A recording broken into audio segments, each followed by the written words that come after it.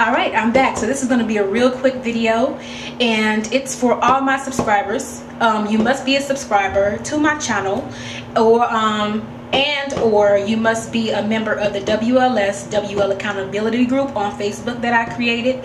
Um, if you are not and would like to be I still have 40 spaces open as we did I did have to let go a few people that were just not participating at all in the group. And since I have a limited number I would like um, you know of course people who are going to participate that really want that support.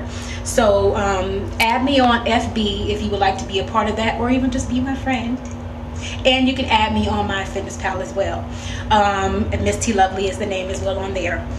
Um, so really quickly here um, I want to give away uh, Debbie Siebers' uh, uh, Slim in Six series, um, one of her videos, Mix It Up.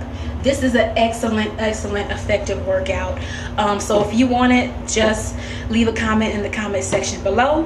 And um, I'm going to choose a random winner. It's going to be two of you guys because I have another giveaway.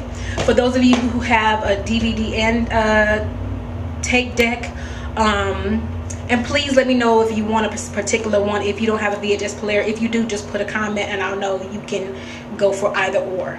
And I want these things to go to somebody who um, are going to utilize them and I would love to see a Vent Sweat With Me video. I'm just saying. I'm just saying. Um, so uh, it's Power 90 the full um, the full um, workout edition. You have Sculpt, Cardio 1, 2, 3, 4, Sculpt 1, 2, and 3 and 4. And I did this before. And um, it's a really, really good workout. Tony Horton is, he's not my particular taste. You know, um, I'm more of a Billy Blanks type of gal. But Tony Horton, I mean, it's overall, it's effective. It's uh, sculpting and cardio.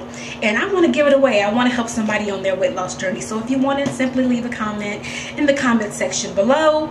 And I will pick two random winners on next week when I do my update. I love you guys very much. Thank you. I thank you for watching. I love you for watching. And I will talk to you later.